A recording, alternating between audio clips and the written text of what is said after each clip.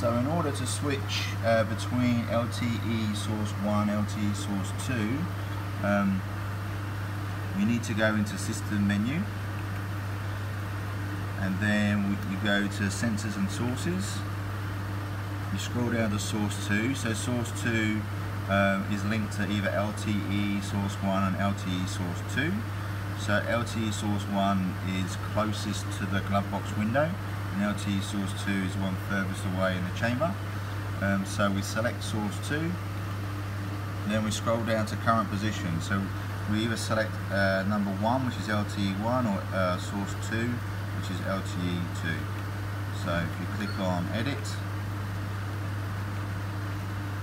current position, and change that between 1 or 2. And you can hear the relay change inside the, the controller. Hit enter when you're finished and go back to the main menu.